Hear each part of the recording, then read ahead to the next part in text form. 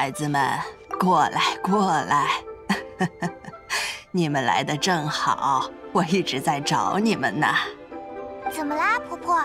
你有事需要我们帮忙吗？你们已经帮了璃月港那么大的忙，我可不能再麻烦你们。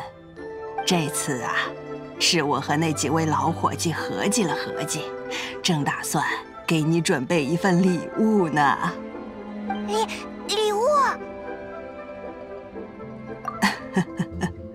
你这孩子，虽然在璃月待了不久，但客套话倒是学了不少。但这份礼物，你可不能推辞。你们之前去我的那盏老狐狸去找狄晨灵的时候，我听着小家伙说，你们两人经常在野外风餐露宿。之后你们肯定还要旅行很长时间，老是这样也不行。还好，我这老婆子虽然年纪有点大了，但还能使些外景之能。嗯，他们没和你提起过吗？我们这群老家伙曾蒙帝君恩典，有三眼五显之能，其余多的就不提了。但外景之能，便是一种创出一方自在小世界的功夫。上次你们钻进去的那盏茶壶，便是用这种功夫造出来的小玩意儿。这么神奇的壶，居然都只是小玩意儿吗？我的那盏壶不算什么，必须得避出尘世，才能自成世界。帝君曾显出的移山填海之能，那才能称得上是大神通。好了，不说这些陈年旧事了。我给你们准备的那份礼物，只差最后一点材料就能完工了。对我们可擅长找各种东西了，还有搜集各种材料，我们都可以的。好了好了，你们这两个孩子，不用你们去跑前跑后的。我已经拜托了一位手脚麻利的小朋友去帮忙准备了。再说了，我要的那些材料可是很特别的，你们可不知道怎么找，而且有的材料现在几乎都找不到啦。嗯，比如在荻花洲河滩下的烁金泥。之前要采掘这种泥土，都要先去找一处琉璃百合开得最盛的地方，然后循着琉璃百合的根系一路往下挖，运气好的时候才能挖出一小匣。但自从荻花洲成了那样之后，就几乎没人能再用这种方法挖到烁金泥了。更麻烦的。就是从层岩巨渊里面凿出的翠蕨岩。自从黑岩厂在那边开厂采矿后，折腾来折腾去，翠蕨岩也几乎找不到了。而且翠蕨岩乃是贵重仙物，常人难承其上的仙家气运。如果接触太久，反倒对身体有害。唉。也不知道那孩子到底能不能找到。婆婆，你应该是仙人，那你请的人难道也是位仙人？嗯，算是吧，他也算是位仙人了。算是，璃月港的仙人怎么这么多呀？总感觉哪里都能遇上仙人，说不定我们吃东西的时候，旁边就坐着位仙人。呵呵呵，那可真说不准。我的那些老伙计里面，还是颇有几位喜欢这人间烟火的。姥姥，我回来啦。咦，这两位是？我来介绍一下，这孩子叫做燕飞，就是我拜托去办事的那位小朋友。燕飞，这位旅行者和他的这位旅伴，你应该知道他们吧？知道知道，我当然知道啦。你们在千岩君的卷宗里可是记载的很清楚呢。在之前请仙典仪的那场骚乱中，被千岩君列为嫌疑人，被全城通缉。然后你们在绝云间击退了千岩君，又和愚人众搭上了线，最后和姥姥他们一起击退了魔神，然后在七星座宝下彻底洗脱了嫌疑。可惜，可惜你们没有早点遇见我。要是早点遇见我的话，虽然不能说当场为你们洗脱嫌疑，但你们肯定也不会那么，嗯，狼狈。重新介绍一下，我叫燕飞，是一名律法咨询师。任何与律法有关的问题，只要找我就行。对了，这是我的名牌，上面有我的联系方式和办公地址，你们收好。如果有急事的话，直接去这个地址留下信件就好。哦，还有新客户初次咨询还有优惠。燕飞，好了好了，说正事。这两位小朋友现在可不用你来帮忙了，你们别太惊讶了。这孩子一直是这样，一谈起自己的事儿来就说个没完。和我们之前遇见的那些仙人们感觉完全不一样。仙人，我应该算是吧。反正我老爸说他自己是仙人。他说他自己曾经和阎王帝君征战了很久，征战结束之后，他就回去和我老妈结婚了。他们结婚之后就有了我。我长大了之后，老爸就带着老妈去外面玩去了。现在我吃住都在姥姥这里。感觉也太随便了。仙人们不都应该遵守什么契约，比如守护璃月港什么的吗？怎么突然就回去结婚了啦？哎呀，我老爸说了，他可是和帝君好好说过了。帝君也同意他还乡和我老妈结婚这件事。他们结婚的时候，帝君还随了礼嘞。哦，先不说这些了，姥姥，你让我去找的那些东西差不多都齐了。嗯，只差一份翠绝言，实在没法找到。现在层岩剧院被彻底封锁，怎么样都进不去，各种的文书也没办法申请。看来总务司是铁了心封锁到底了呢。这样啊，可是没了翠绝言。可就有点麻烦了，燕飞，能再想想办法吗？他们帮了李月港这么大的忙，实在是应该有些报酬才是。我知道啦，姥姥，你都给我念叨多少次了？虽然没办法从层岩剧院里找到翠绝岩，但是也许能想想其他的办法。嗯，你们等等啊，让我看看。哇，好厚的一本书，这都记了些什么呀？商业咨询，矿石，矿石，至东，找到了。这位叫做克罗索的至东国商人，曾经找我咨询过一些法典条款，都与珍稀矿石有关。他也提到过想要收一些翠绝岩用来制作钗子，还问过我与之有关的律法风险。说是想要带回至东国贩卖，嗯，我这就去找他，说不定他经手过翠绝岩，或者是知道些线索。你想要一起去吗？倒也不是不行，不过你在旁边看着就好了，可不要轻易插手哦。要是惹上了什么律法上的风险就不好了。居然是用律法来警告我们，还是第一次遇见这样的仙人。和他一起行动的时候。我们还是多注意一些吧。索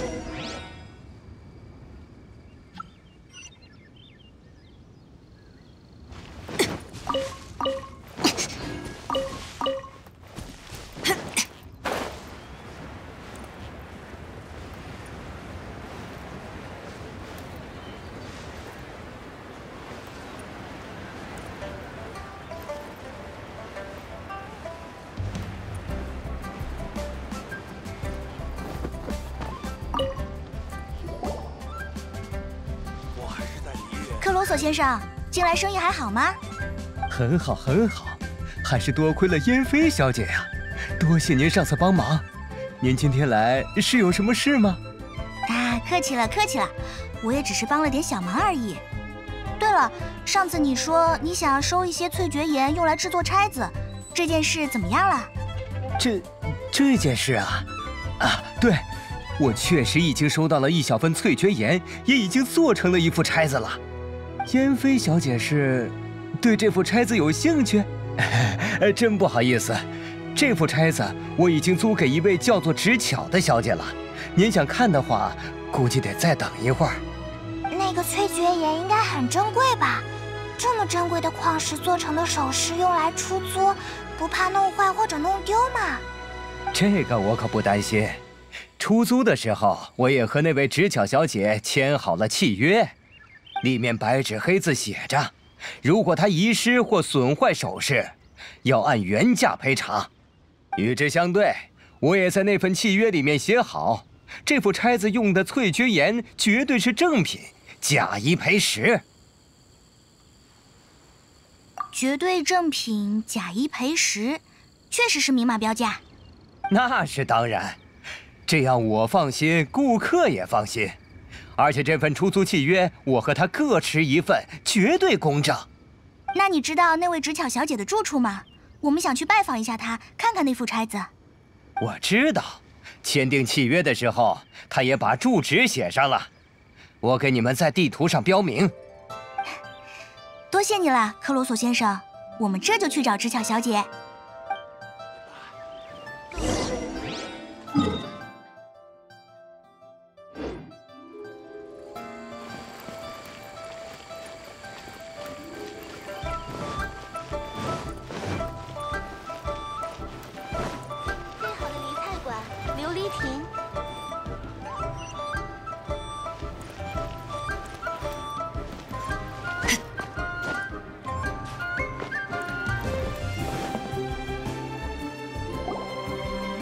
怎么办？这可怎么办？我，我是直巧，请问你们找我有什么事吗？你好，直巧小姐，我们从克罗索先生那里听说你从他那里租用了一副钗子，我们对这副钗子很感兴趣，可以借我看看吗？那副钗子，那副钗子暂时没法借给你们了，我不小心，不小心把它弄丢了。我明明把那副钗子放在身边的，连带都没敢带出来，到底是什么时候弄丢了？租这副钗子就已经花了很多钱了，又是原价赔偿，我我可一下子筹不出那么多钱来啊！我我家里本来也是做矿石生意的，但自从层岩剧院被封，我们家的生意也受到了不小的影响。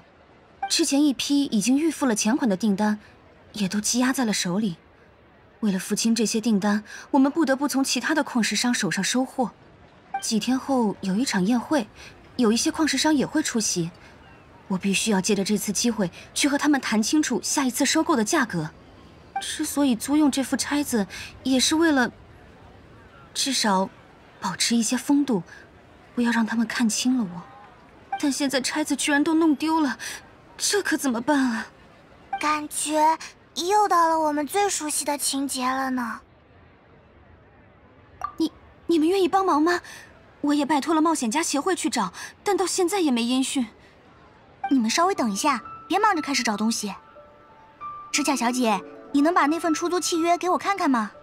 啊，这倒是没问题，我随身带着的。给你，我看看。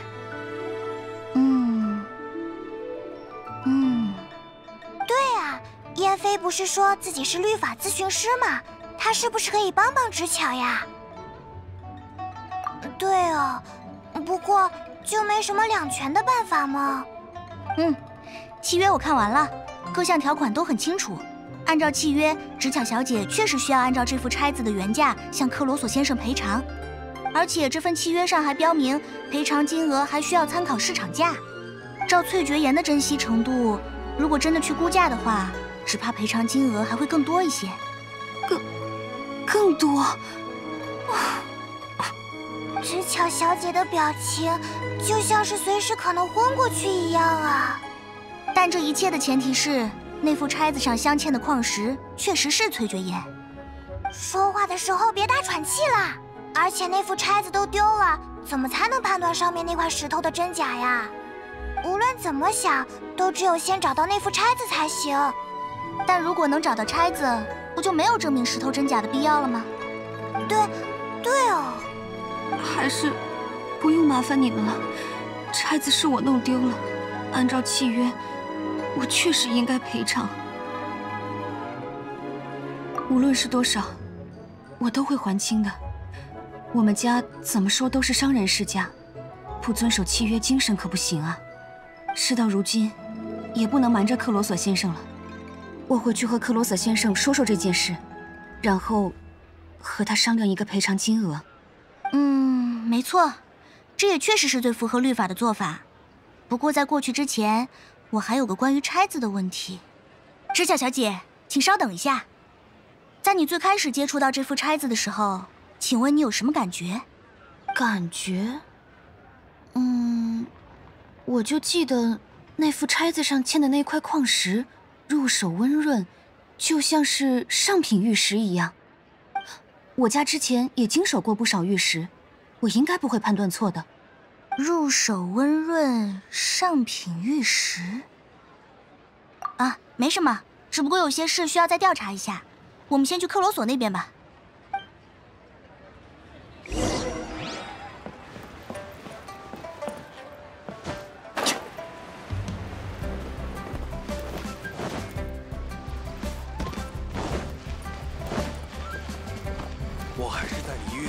开一家门面吧。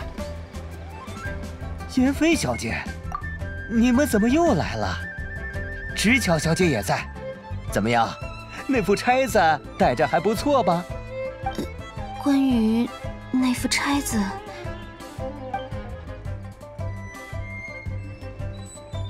弄丢了？你在开玩笑吗？那副钗子值多少钱？你知不知道？对不起，对不起，真的很对不起，我会按照契约赔钱的。赔钱？你知道我花了多大功夫才收到这块翠绝岩的吗？我。我真是，算了，现在说这个也没用。正好燕飞小姐也在，就请她来评估一下，你到底需要赔多少钱。没问题，不过在正式评估前，我还要去市场上做些调查。除此之外，我再多问一句，克罗索先生，你那副钗子上镶嵌的确实是正品的翠绝岩，没错吧？那当然了。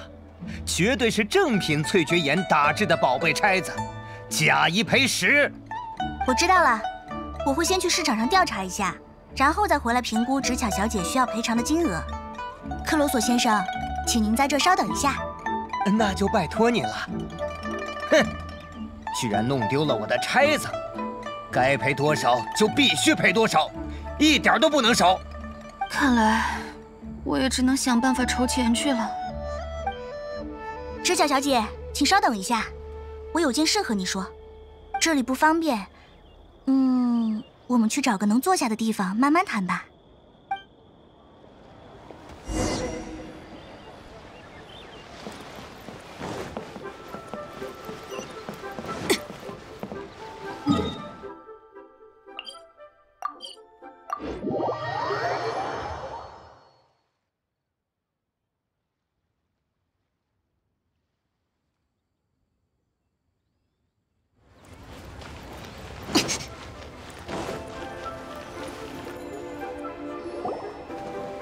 小姐，你找我还有什么事吗？是来，是来告诉我赔偿金额的吗？不是这件事。我要和你说的是，那副钗子上镶嵌的矿石，或许并不是翠绝岩。哎，什么意思？你不会已经悄悄找到那副钗子了吧？我又不是冒险家协会的冒险家。跑腿找东西这种费时费力不讨好的事，我才不做呢。我只不过是稍微推断了一下。我不知道姥姥有没有和你们说过，翠绝岩这种材料生长在地底深处，携带着很浓厚的元素力。如果常人接触的话，轻则身体不适，重则性格大变，绝对不可能有入手温润这种感觉。知巧小姐，在你携带钗子的这段时间，你有没有感觉到身体不适？没，没有。一切都很正常，没有不舒服，也没有其他的感觉。嗯，这就更奇怪了。刚才我还注意到，在克罗索先生的周围有一些残留的元素痕迹。如果我的推断属实，也许那块翠绝岩还在他的手上。既然这样，那我们直接找他对峙去吧，当着他的面戳穿他骗人的把戏。哎，可不能这么做哦！如果现在就去找他对峙，他肯定会死不承认，然后用各种言辞轰走我们，在我们离开之后，就把手里的翠绝岩丢进海里。然后他照样可以按照契约上的条款要求知巧小姐赔偿，自己不亏一分钱。至于我们嘛，就只能去把璃月翻个底朝天，顺便祈祷那副钗子真的还存在于这个世界上了。这描述也太详细了，感觉就像是你自己经历过一样。啊，我确实经手过不少这样的事件，这样的处理方式都算是简单粗暴的了。我还知道更多精明的手段，等有空了再和你们说。那那燕飞小姐，既然你这么清楚这种事，你能帮帮我吗？这个啊，好说好说。在那之前，知晓小姐，麻烦你把这份契约签一下。咦，诶，这个人怎么又要签契约了？总觉得燕飞似乎比之前的某人更在意契约呢。这是正式委托的契约，之前都是友情咨询，但再往下调查的话，我们必须要签订一份正式契约才行。没有契约束缚的委托，无论如何都是不可靠的。我知道了，那就拜托你了，燕飞小姐。没问题，来来，先在这扉页上签字，我也得签一下。嗯，这里写上你的住址，还有这一页也得签名，还有第五页、第七页和最后一页都请签上名。然后用这个印泥在这里摁一下手印。这是在签契约吗？怎么这么多页啊？好嘞，这样就可以了。报酬还是老规矩，也已经写在契约里了。你看看有没有问题？我都已经看过了，没有问题。那么这份契约一式两份，这份你收着，这份我收好。暂时不需要。这件事虽然说起来麻烦。但捋清头绪后，处理起来反而很简单。你之前没有见过这种调查吧？就趁着这个机会好好感受一下吧。可是燕飞小姐，你为什么愿意帮我？因为我们也正巧在找翠绝岩。我刚才留意了一下，克罗索先生身边有很明显的岩元素痕迹，或许他真的拿到了一份翠绝岩。嗯，不管他是不是真的把那份翠绝岩做成了首饰，但这多少也算是一条线索。只要循着找下去，说不定真能找到翠绝岩呢。而且，对于这种有可能正在恶意利用律法的人，我可不能容忍。先不说这个了，我们先去……嗯，我看看啊，矿石加工，矿石加工，有啦。我们先去找解翠行的老板石头吧，在矿石切削方面他是专业人士。如果克罗索先生需要在城里加工他的那块矿石，那石头一定是他的不二之选。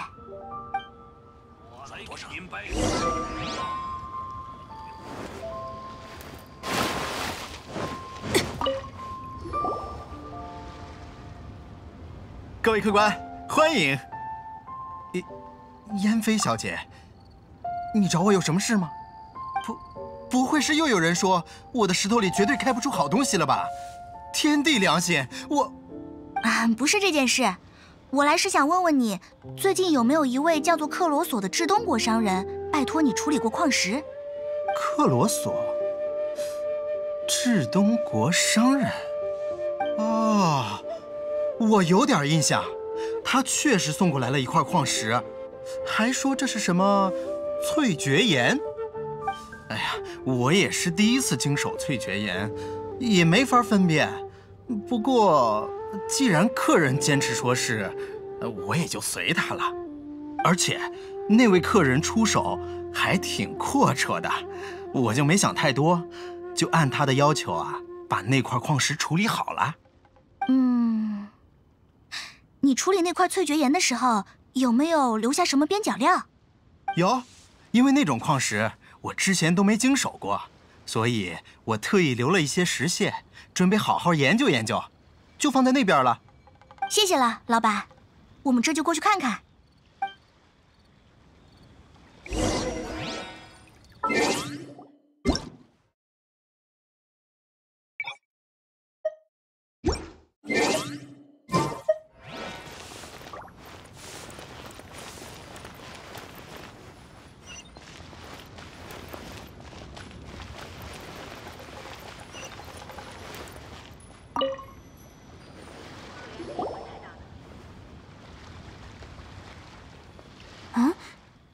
断面和纹理来看，这好像是翠寒岩的碎屑啊。嗯，是一种不那么罕见的矿石，价格也不贵，经常被用来做首饰之类的东西。之前我也听见过一种说法是，翠寒岩其实就是翠蕨岩的外层，但这种说法也没有被证实过。翠寒岩和翠蕨岩就差一个字呢。不信的话，你可以观察一下这些石屑的元素力。翠寒岩可是一点元素都不含的普通矿石。是这样吗？那就用元素视野看看吧。怎么样，有什么发现吗？真的不一样哎。不过知巧小姐居然只用看石片就能分辨出不同，真是厉害啊！没有什么了不起的啦，只不过平时接触这些比较多一点而已。这两种矿石很相似，对他们不了解的人确实很难迅速分辨出来。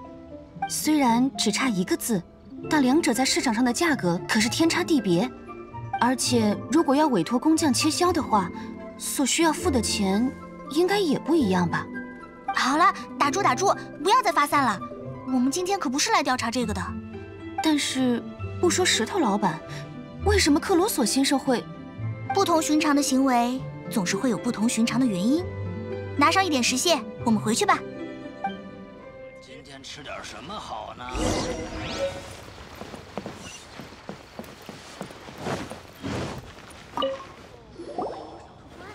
燕飞小姐，你到底是？老板，我再和你确认一下，克罗索先生在送来这块矿石的时候，确实是把这块矿石称为翠蕨岩的，对吧？是啊，当时的单据我都还留着呢。你看这儿写的清清楚楚，待切削翠蕨岩一份。这样就没问题了。老板，这份单据和这份石屑能借我用用吗？没问题是没问题，可是你要这个做什么？我自有用处。对了，还请您在这份证明文书上签个字。这份文书是用来证明这份石屑确实来自于克罗索先生送来的矿石。你可以详细看一下。呃，好的，我知道了。燕飞小姐，我多嘴问一句哈，呃，这次又是谁惹麻烦了？谈不上麻烦。只不过是一点小问题而已，谢谢啦，老板。石屑单据和文书我就都收下了。有了这些证据，克罗索应该就无话可说了吧？这些还远远不够，我们还需要再找点儿更加有力的证据。打造首饰还需要专业的首饰工匠。我想想，首饰首饰在哪儿呢？啊，找到了。星星小姐经常帮人联系首饰工匠，我们去找她吧。这样就找到了？你怎么认识这么多人啊？因为每天都有很多人来委托我做律法咨询啊。你们也知道，这座璃月港是契约之城，契约或者说律法是这座城里很重要的东西。但那位天权星所修订的各种律法实在是太过复杂。嗯，怎么形容呢？差不多就是那种轻易读不懂、绝对读不完的感觉吧。所以，我这种可以在律法方面提供帮助的律法咨询师可是很受欢迎的。在律法方面提供帮助，可是律法不是非常复杂吗？轻易读不懂、绝对读不完什么的。嗯，这个倒是没关系。反正到目前为止，所有的法典我都已经全部背下来了。全部都。这可是律法咨询师的基本素养，别大惊小怪。这和仙人没什么关系啦，我只不过刚好很喜欢看东西而已。又是这种随便的口气。好啦，我们快点去找星希吧。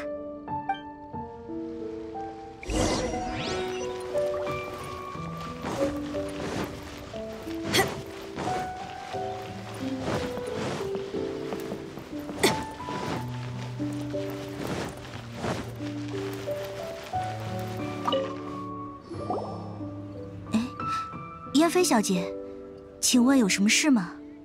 难道是上次的那位客人又……之前那位客人的事已经没问题了，这次我来是想问你一件事：有没有一位叫做克罗索的商人曾经拜托你联系首饰工匠？克罗索，我记得是那位至东商人吧？他确实曾经拿过来一份矿石，还说是什么翠绝岩。他给我的钗子设计图还十分复杂，我联系了好久，才有一位老首饰工匠把他要的钗子打造了出来。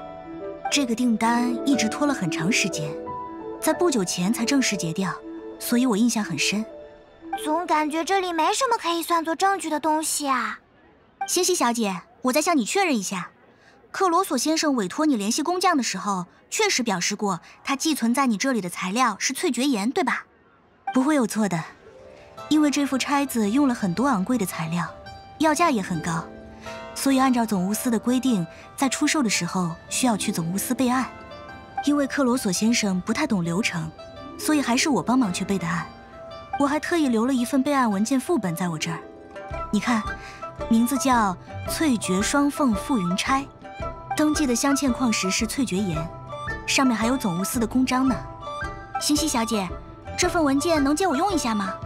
可以啊，反正这份文件放在我这里也没什么用。燕飞小姐，是不是又有人惹上麻烦了？没事，只是一些小问题而已。这份文件我用完之后就还给你，多谢了。为什么大家的第一反应都是这个？嗯，证据搜集的差不多了，我们最后再去布卜炉找白先生一趟吧。那个脖子上挂着蛇的怪家伙。为什么要去找他呀？因为只有他能够出具有权威性的证明文书，来证明翠蕨岩对人体是有害的。把这最后一份证明拿到手，我们就可以去给这件事收尾了。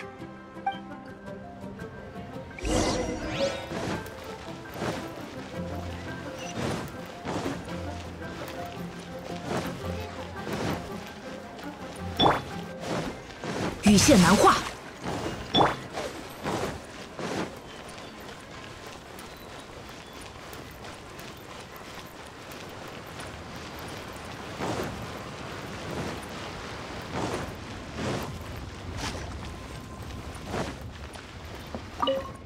哦，真是稀客。如果你们是来找我家七七的话，她正好出去采药去了。还有燕飞小姐，您更是位稀客了。请问有什么事吗？总不会又有无知之徒诬赖必定的药全无药效了吧？啊，没有没有，这次我来只是想请教白先生一件事。你了解翠蕨岩吗？翠蕨岩，我记得在《七脏山经》第六注里。确实提到过这种矿石，《七藏山经》里说，这种矿石随山中石髓而生，常人触之必有灾殃。这种矿石确实富含元素力，如果没有神之眼的人和它长时间接触，轻则身体抱恙，重则性格大变，重病不起。俗话说，无事不登三宝殿。以燕飞小姐的作风，既然来专门问我这件事。只怕是又要让我开些证明文书，来证明翠绝岩的药理特性了吧？正是如此，那就拜托白先生了。嗯 一份文书而已，举手之劳，不足挂齿。不过除了你们之外，还有一位至东商人也来向我问过翠绝岩，但他得到答复后，却露出了一副格外失望的表情。不知道燕飞小姐正在忙的是？是否和这位至东商人有关？这件事就不劳烦白先生挂怀了。谢谢白先生的文书，之后我会再来拜谢。燕飞小姐客气了，还请慢走。那个叫白竹的人，还是和之前一样，让人感觉很奇怪。是我的错觉吗？总感觉他说的那些话，好像是在试探什么。白先生一向是这样。好了，现在证据搜集差不多了，我们去找克罗索吧。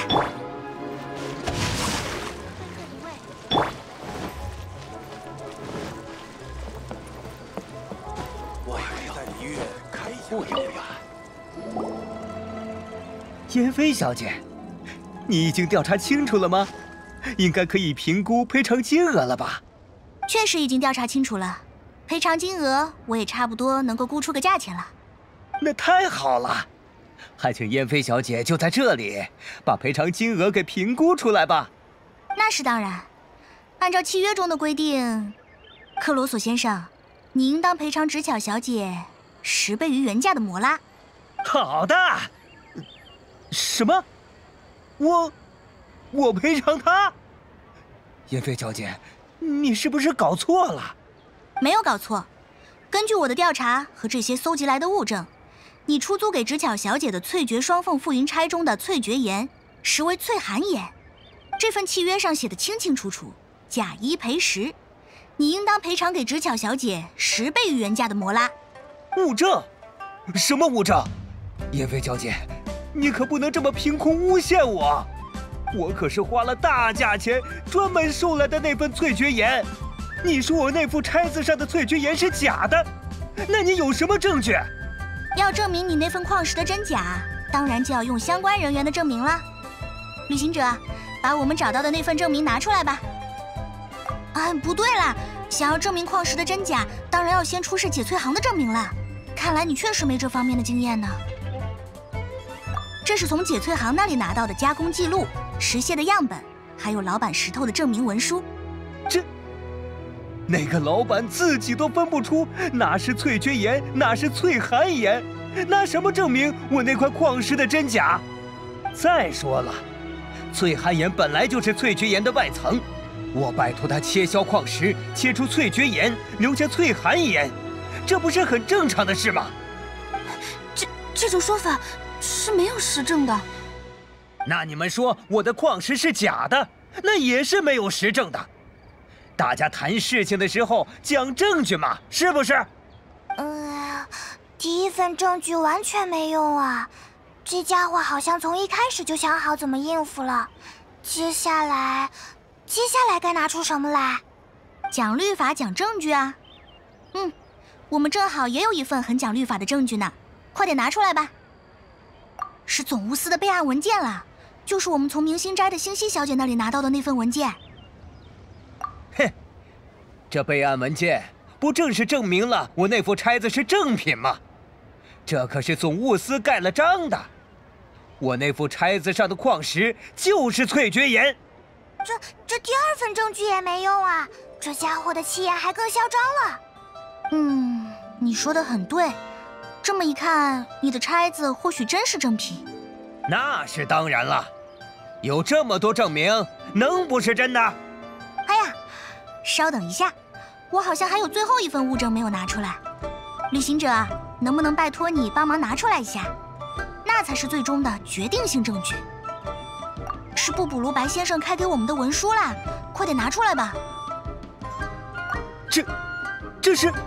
翠绝岩随山中石髓而生，常人触之必有灾殃。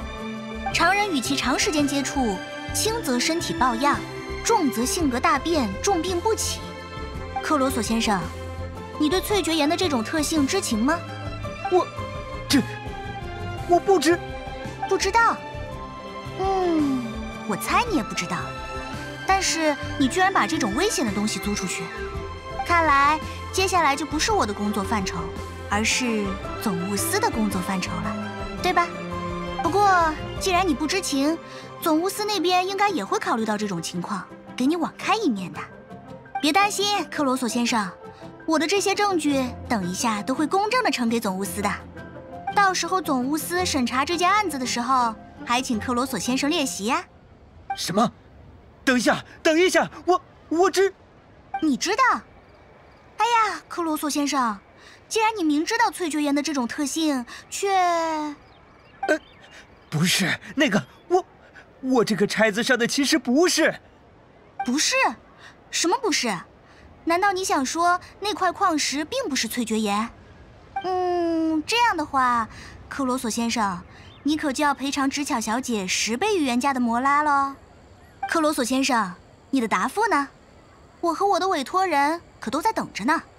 我我我，燕飞小姐突然突然好有气势，好像完全换了一个人。我承认，我承认，我的那个那个钗子上的矿石是翠寒岩。可可我也是倒霉呀！好不容易花了大价钱收了一小份翠绝岩，准备用这个打造一副好首饰，卖个好价钱。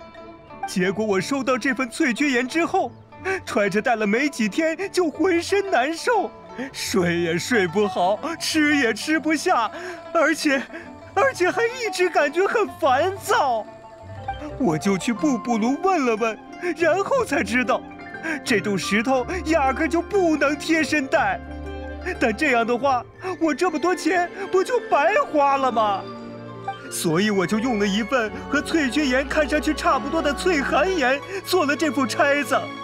真正的翠绝岩，我就一直放在一个特制的匣子里，动也不敢动，因为怕被人看穿。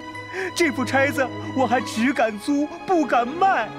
而且，而且第一次租给直巧，他就给弄丢了。对呀，既然不是正品，那你还要直巧小姐赔那么多钱做什么？我，我也不想啊。但我之前买翠绝岩的时候，我的几个生意伙伴都知道了，他们肯定都在盯着我，看我能赚多少钱呢。要是我卖假钗子的事情露出去，我在这行就……就彻底混不下去了。好了，诉苦环节到此结束。这些事我一点儿也不关心。总之，按照契约，你应该赔偿直巧小姐十倍于原价的摩拉。十倍？十倍？克罗索先生看起来好像也要昏倒了。而我嘛，按照我和直巧小姐签订的契约，博取这份赔偿金的两成。两两成？我买那份翠绝岩才花了这么多钱，那个不用的，不用赔我那么多钱。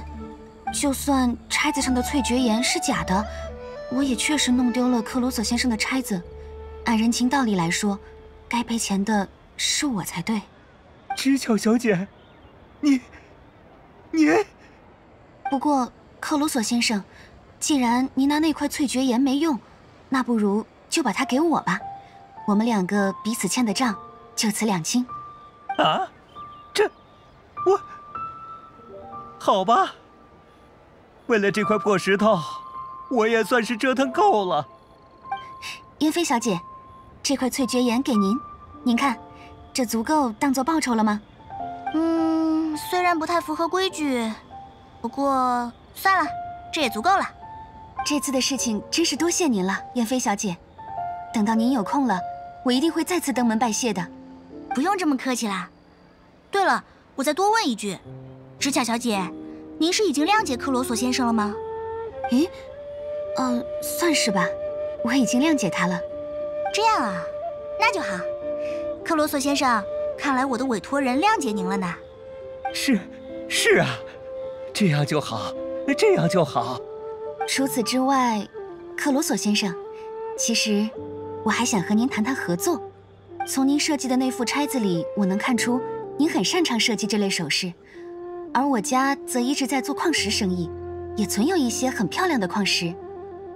如果能把您设计的这些首饰和我家里囤积的那些精品矿石结合起来，我想，也许这会是一笔不错的生意。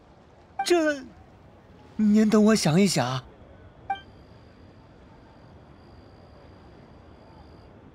好嘞。事情解决了，姥姥要的翠绝岩也到手了，皆大欢喜，皆大欢喜。是呀，一般听说钗子丢了，我们的第一反应都是到处去找，从来没想过用这么一大堆文书来解决问题。虽然最后还是没有找到钗子就是了。是目的不同，需要使用的手段当然也不同了。我的委托人直巧小姐的目的是减免赔偿。比起翻遍璃月找到钗子，证明那副钗子本身不值钱，才是更有效率的方法嘛。仙人，之前你不是也参加了那场战斗吗？应该听姥姥说过了吧？如今的璃月港已经可以说是一座人质的城市了。比起那个无所谓的仙人身份，我觉得律法咨询师这份职业对我来说才更重要。毕竟在现在的璃月港里一名精通律法的律法咨询师可比一名仙人重要太多了。呃真不知道某人会怎么看待这个说法。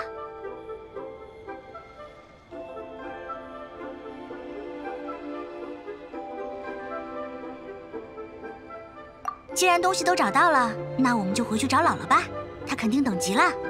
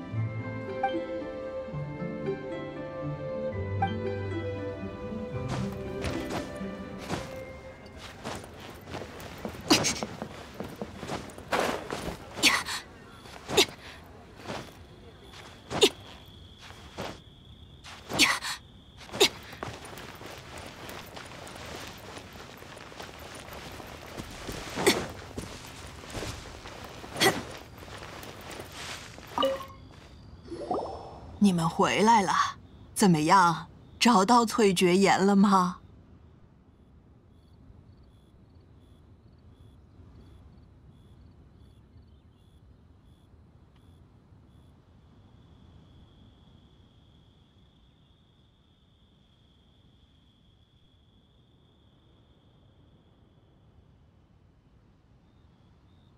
不错，不错，这样材料就齐全了。姥姥，既然东西找齐了，那我可回去了。还有很多客人在等着我呢。这孩子，去吧去吧，赶紧忙你的去，剩下都是我老婆子的活计了。那我走啦。对了，旅行者，我给你的名牌你可要收好了。我最近也正在研究外国的律法，要是你以后在其他国家遇见了和律法有关的问题，就直接来找我吧，熟客也有优惠的。你这孩子。走不走了？不想走的话，就再去帮我老婆子扫扫茶壶。啊，走了，我这就走了。哎，这孩子，也不知道是和谁学的这个作风。他爹当年在帝君身边的时候，可没他这么闹腾，这么会胡说八道。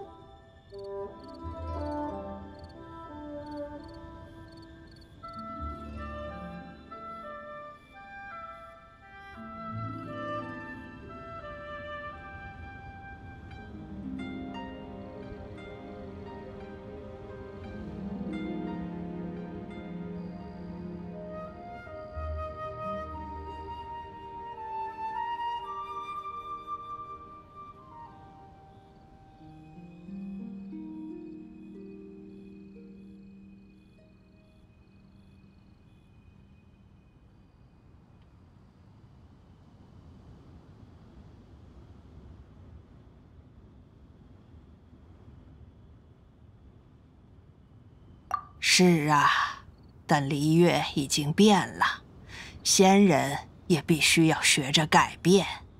燕飞这孩子虽然闹腾，但他也是我们之中和这座城市最亲近的那一个。如今的璃月，已经不是当年的璃月了。好了，不说这些了，言归正传，我还得给你们。做那份小礼物呢？哇，真期待！到底是怎么做出来的呀？只不过是做一盏壶而已，要不了多长时间。你们就在这儿稍微等一下吧。喏，做好了，这盏陈歌壶就送给你们了。平时可要拿好了，要是摔了，指不定会出什么事呢。还有这些图纸，想要把你们的这盏壶变得更热闹，可就要靠这个啦。可是，婆婆，这个壶到底该怎么用呢？这个不用担心，我已经招了个小家伙在湖里等着你们。有关这陈歌湖的一切事宜，你们都可以去问问他。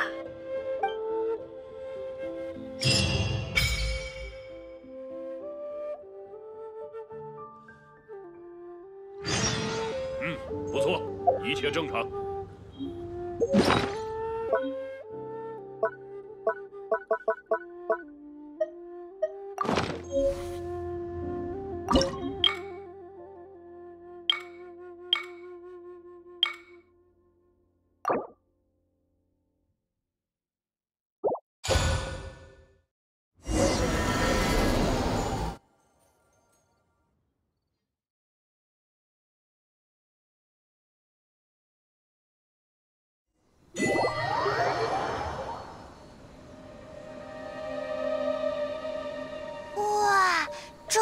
空间好像比平姥姥那盏更大呢，中间还有一栋好大的房子。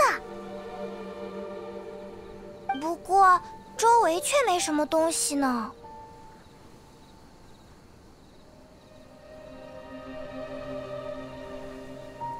凿不动，你自己不是拿着剑吗？你自己去凿啦。啊，不过除了那个房子之外，这周围怎么空荡荡的？哎，等等，那是什么？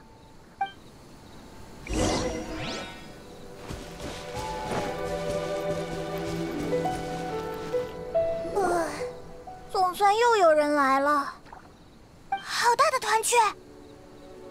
人家不是团雀，我是胡林，我叫，我叫，我叫什么来着？哎呀，我实在是记不清了。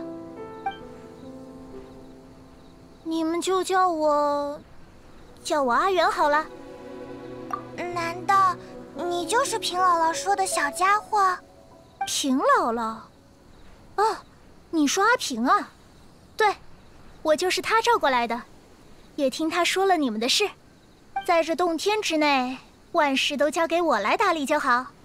虽然你们的旅途还得继续，但至少每天能有个舒适的地方睡个安稳觉了。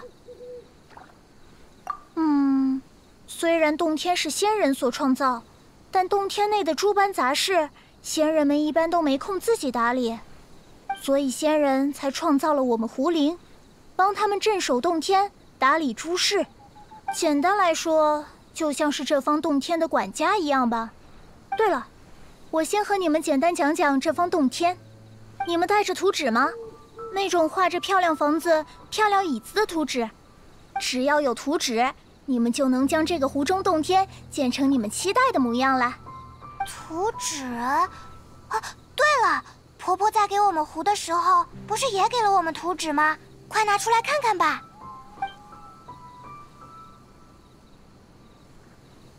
对对，这就是图纸，快展开看看。你们先记牢这些图纸里的东西样式，再准备些相应的材料物件，然后再飘出一缕念头。图纸里的东西就会在这盏壶里出现了，这样就能让东西出现，那岂不是能在湖里建造一整座城市了？嗯，这个不太可能呢。之前有一位金色眼睛的仙人和我说过这件事，他说，洞天虽是仙人外景之能所显，但即便是仙人显能，也终有极限。毕竟此方天地并不是真天地。只是避出尘世的一片青叶，只可偷得半日闲暇，不能避出一世清净。金色眼睛的仙人，到底是哪一位呢？我也记不太清了，而且之后我也再没见过那位仙人了。先不说这些了，你们先好好逛一下周围，熟悉一下这洞天吧。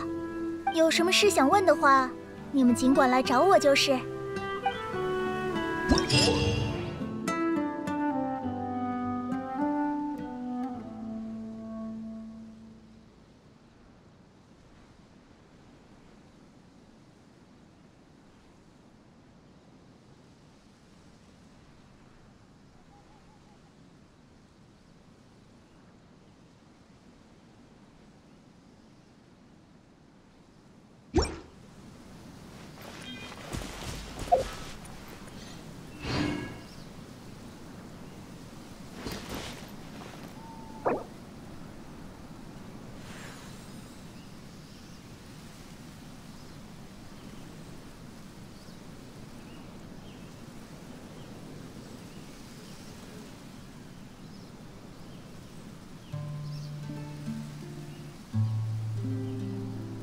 什么都可以商量，除了加班。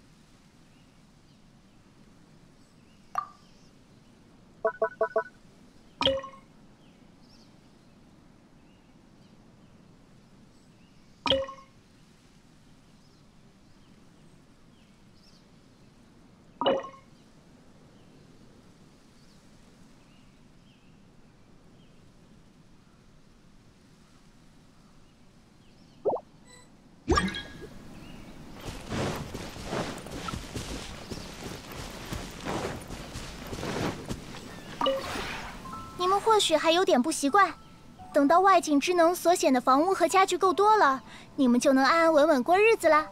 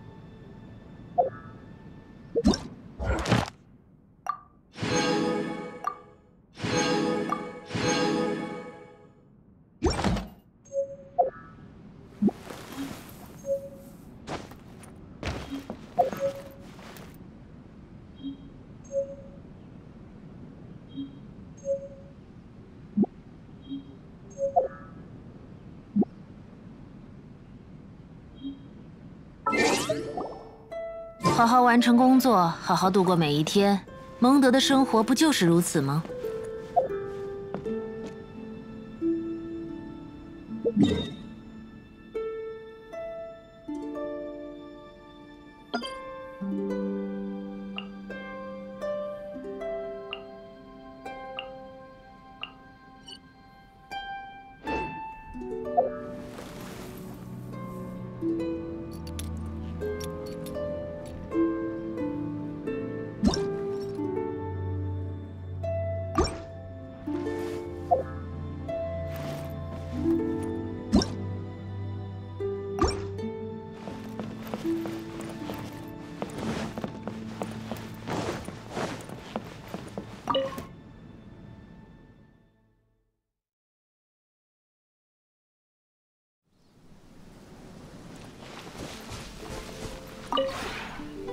许还有点不习惯，等到外景之能所显的房屋和家具够多了，你们就能安安稳稳过日子啦。